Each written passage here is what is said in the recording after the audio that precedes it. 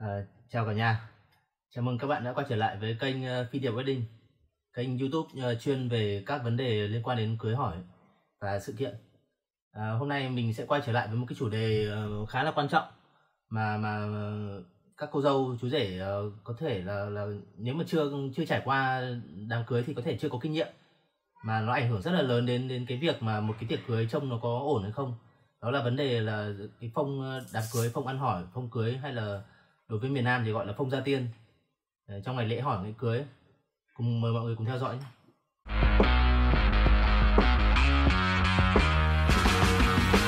có rất nhiều mẫu mã để có thể chọn cho cái ờ, mẫu phong hỏi hoặc đám đám hỏi hoặc đám cưới. Nhưng mà cái việc còn còn quan trọng hơn ấy là cái việc mà xử lý khiếm khuyết của của căn nhà hoặc là của cái ờ, của cái phòng mà mình làm tiệc cưới mình làm lễ gia tiên. À, tại sao lại như vậy? Nó giống như là một người ấy mặc một cái bộ quần áo đẹp.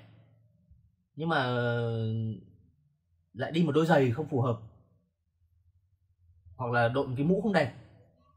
Đấy thì thì có thể là cái bộ áo rất là đẹp bộ áo quần rất là đẹp đấy.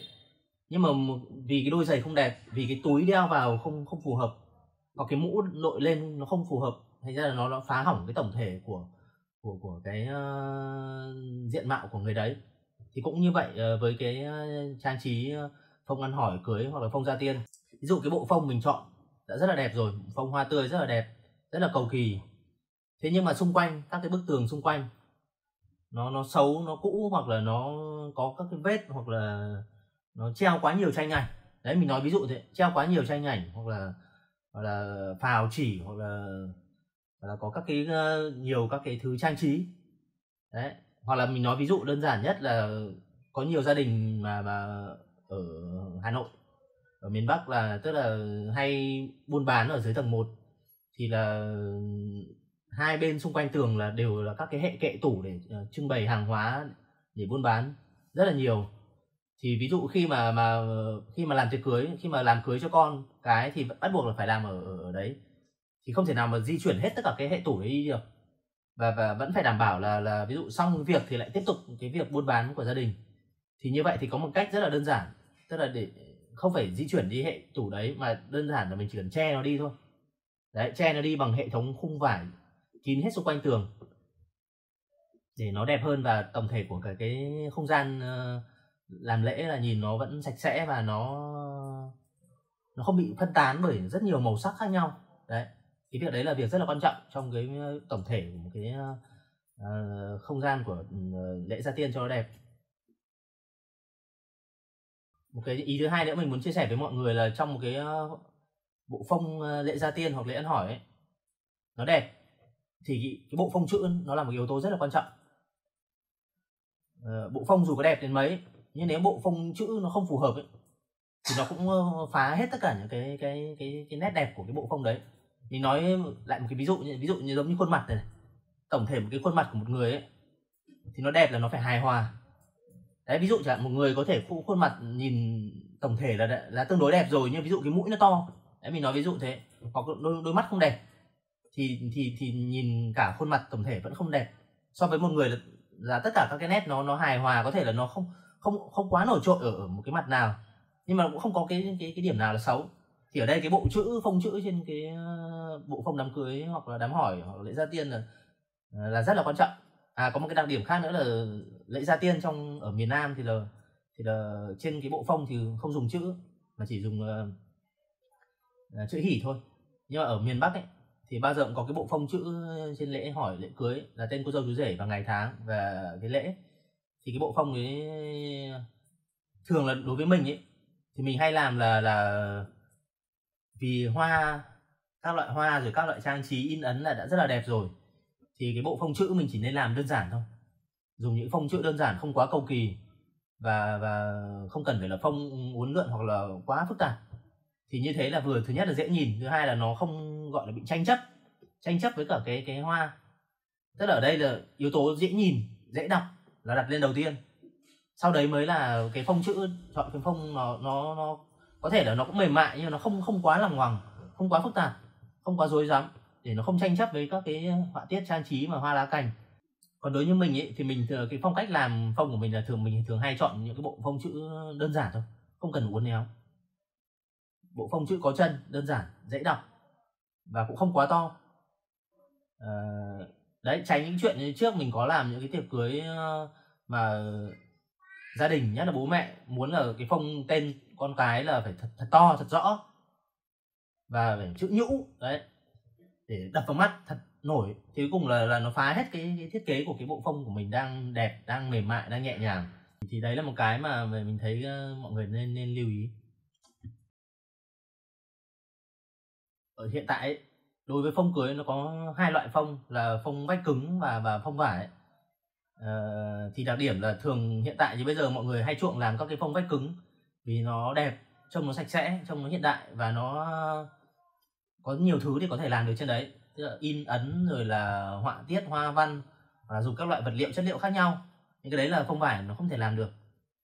Nhưng mà có một điểm mọi người cần lưu ý là phông vách cứng chỉ nên làm với những cái gia đình hoặc là những cái căn hộ nó rộng uh, hoặc là nhà riêng rộng và và và không vướng víu gì, tại vì phong cứng là kích thước nó nó fix nó sẽ có đi vào những cái kích thước cụ thể, chứ không thể nào là nó linh động được như phong vải còn phong vải thì nó, kích thước nó sẽ thay đổi dễ dàng hơn. Tại vì là nó có thể chỉ là thay đổi, đơn giản là thay đổi theo khung vải là nó dài ngắn, nó sẽ ờ, linh hoạt hơn.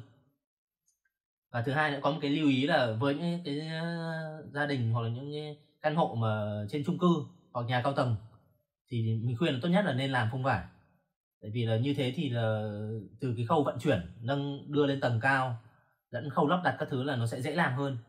Thứ hai là với những cái căn nhà nhỏ mà cái diện tích làm phông quá nhỏ ấy, thì mình cũng nên làm phông vải. Tại sao lại như thế? Tại vì khi mà mình làm một cái phông vải ấy, thì mình có thể làm diện tích nó rộng hết. Ví dụ, mình vẫn phải trường một cái lối đi để đi lên trên nhà, để thắp hương, rồi là mình đưa nước, lấy nước rót nước, đưa ra tiếp nước để ờ, phục vụ ờ, mời các quan khách thì nếu mà mình làm phông cứng là che kín hết thì là sẽ không thể nào làm được cái việc đi qua đi lại đấy được. Nhưng nếu mình làm phông vải ấy, thì là mình có thể vén qua để đi lại. Đấy. Hoặc là mình hoặc là có một cái phương án khác là mình vẫn có thể làm phông vách cứng nhưng chỉ chỉ làm một phần và vẫn chừa một phần nhỏ. Là làm mình làm một cái phông phông vải nhỏ để để mình có thể vén qua đi qua đi lại.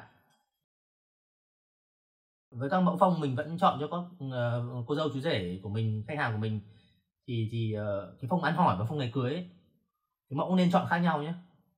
Tại sao lại như thế? Tại vì là có một đặc điểm ấy của phong ăn hỏi ấy, là luôn luôn sẽ có một cái hệ thống bàn chát ở phía dưới thấp. À, hoặc là ví dụ như phong gia tiên ở trong đối với phong tục miền Nam cũng như thế. Chính là bàn chát và cái bàn thờ gia tiên. Thì chính vì cái vướng của cái hệ thống bàn ở dưới và và cái hệ thống chat đặt lên trên rồi thì coi như là nó lại bị mất một nửa dưới rồi. Đấy thì có những cái phần mình trang trí và mình làm nó chỉ còn ở phía trên thôi. Thì mình nên tìm những cái mẫu nào mà cái hình thức trang trí nó chỉ vừa đủ ở chỉ phía trên thôi chứ nó không không không chạy hết cả xuống dưới. Tại vì thứ nhất là nếu mà bạn làm chạy hết một cái phông to đẹp chạy hết cả xuống dưới ấy, thì nếu mà mà khi đặt cái bàn cháp vào các thứ vào thì nó cũng che hết đi đúng không? Nó không có tác dụng gì cả. Ví dụ bạn có làm hoa đẹp xuống dưới thì nó cũng che đi. Nó phí. Đấy và thứ hai là một cái thiết kế tổng thể ấy, khi mà đã bị che một nửa đi rồi ấy, thì nó sẽ không còn còn nguyên cái cái ý đồ và cái hình thức của nó nữa. Cho nên là cái cái phong ăn hỏi nó sẽ khác với phong cưới là như thế. Cái phong cưới là nó là một cái phong tổng thể. Nó không vướng víu gì cả. Mình đứng vào trong một cái phong tổng thể lớn như thế là là là là xung quanh là nó không bị che. Đấy còn phong ăn hỏi là nó đã bị mất một nửa dưới rồi. Đấy là cái mọi người phải lưu ý khi mà chọn cái mẫu phong nhé. À, một cái điểm cuối cùng mình muốn uh, gợi ý với mọi người ấy là tùy vào chi phí của mình nhiều hay ít hoặc uh, mình cân đối chi phí để mà mình nên làm cho hợp lý. Đối với nhà trai ngày ăn hỏi ấy, chỉ cần cái làm một cái dãy bàn để chat và một cái phông uh, phía sau cái bàn chat đấy để chụp ảnh. Đấy, trước khi là bê cái ờ, bộ mâm chat đi sang bên nhà gái để để để để, để, làm lễ hỏi. Đấy thì như thế là mình chỉ cần như thế thôi. Chứ còn cũng không cần thiết phải bàn ghế. Đấy, trừ khi là với các cái gia đình mà có làm vài mâm cỗ để mời gia đình ăn ở nhà thì mình có, thì mình có thể cần làm hoặc là làm ra. Đấy còn nếu không thì mình có thể không cần thiết cầu kỳ phải làm à, bàn ghế hoặc là dạp quá nhiều làm gì. Mà mình chỉ cần một cái bộ phông và cái bàn chát để để, để bày trước khi uh, chụp ảnh để chuẩn bị trước khi lên đường sang bên nhà gái. Còn à, đối với nhà gái thì ngày ăn hỏi là rất là quan trọng. Đặc biệt quan trọng đấy. Cho nên nếu mà để mà nói là đặt ưu tiên của hai ngày ăn hỏi và ngày cưới ấy, nếu mà phải có một sự ưu tiên ấy, thì mình nghĩ là nên đặt ưu tiên vào cái ngày ăn hỏi. Làm đẹp có thể làm hoa tươi còn ngày cưới thì mình ờ, chỉ làm bình thường vừa vừa thôi hoặc là mình làm hoa lụa cũng được không thành vấn đề. Đấy.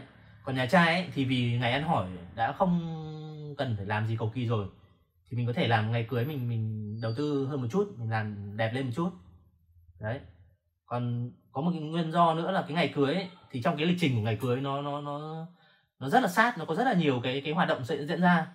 Đấy từ ăn hỏi sang bên nhà gái xong lại đón dâu về nhà trai xong rồi làm các thủ tục quay phim chụp ảnh lại ra hội trường làm ăn cỗ cưới luôn. Thành ra là cái thời gian nó cũng không có quá nhiều mà mình cần thiết phải làm cầu kỳ quá. Cho nên là cái cái cái uh, tư vấn của mình với những cái bạn mà có chi phí không quá nhiều ấy thì mình ờ, nên tập trung làm vào những cái dịp quan trọng.